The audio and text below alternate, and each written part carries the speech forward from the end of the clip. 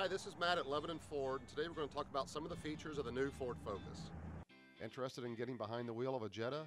Put yourself in a car that offers some pretty impressive features. The Ford Focus. For starters, Focus offers active park assist. If you're trying to parallel park, Focus will steer you into a spot.